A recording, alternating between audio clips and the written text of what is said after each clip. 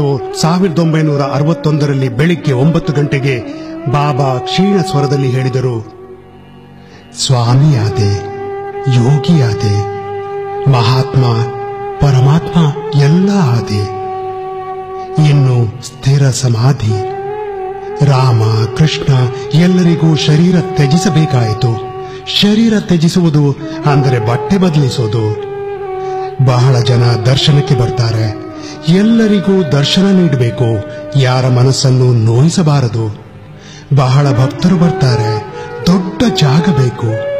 ಸಮಾಧಿ ತಗೊಂಡ ನಂತರವೂ ಇಲ್ಲೇ ಇರ್ತೇನೆ.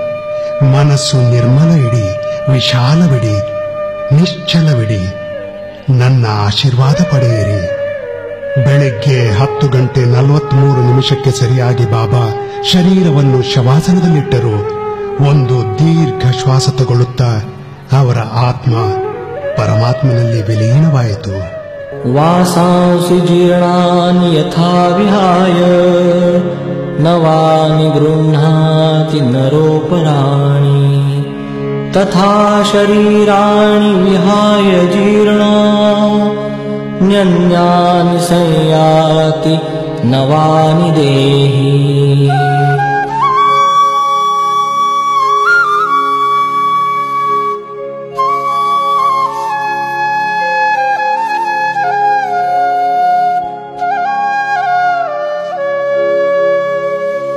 नित्यानंद बाबा तुझला कुठे शोधू आता?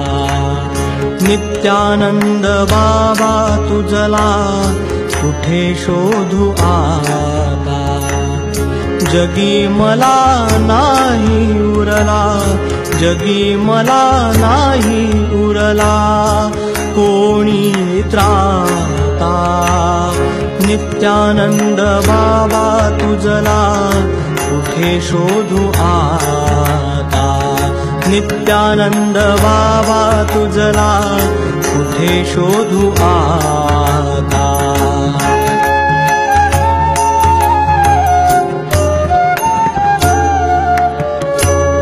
निर्मळ मन निश्चल चित्त आढळ भक्तिभाव निर्मळ मन निश्चल चित्त अढळ भक्तिभाव भक्त मनी उपजता देसित चरणी कुणा हाती निरविसी मजला कुणा हाती निरविसी मजला पुरे जगी मी एकटा नित्यानंद बाबा तुझला कुठे शोधू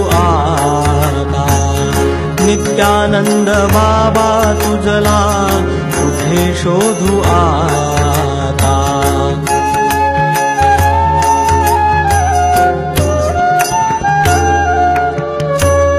तूच माय तूच बाप बंधू तूच तूची सखा तूच माय तूच बाप बंधू तूच तूची सखा।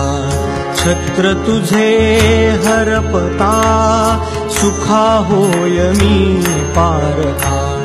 कुणा सांगू आर्त मनीचे कुणा सांगू आर्त मनीचे दुःख कोण हरील नित्यानंद बाबा तुझला कुठे शोधू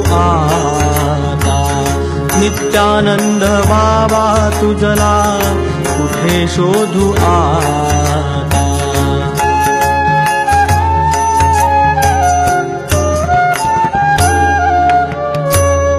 अवतार जगती घेसी भक्त जना तू तारिसी अवतार जगती घेसी भक्त जना तू तारिसी। पतिता पावन करिसी दुष्ट दुर्जना उद्धरिसी। पुन्हा येई देहावरता पुन्हा येई देहावरता।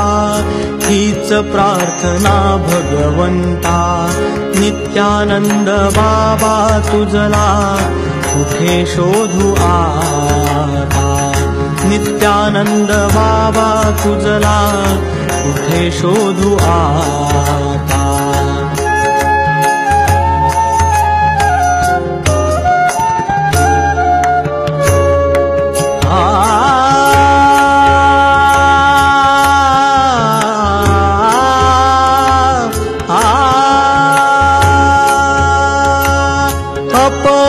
अपराध काय देवा बालकाकडोनी घडला अपराध काय देवा बालकाकडोनी घडला दूर लोटुनी या मजला दूर लोटुनी या मजला. रुसोनिया तू चालला. गुरुमाऊली अंतरता. अंतरता बाळ पोर केमी आता. नित्यानंद बाबा तुझला कुठे शोधू आता. नित्यानंद बाबा तुझला कुठे शोधू आता. नित्यानंद बाबा तुझला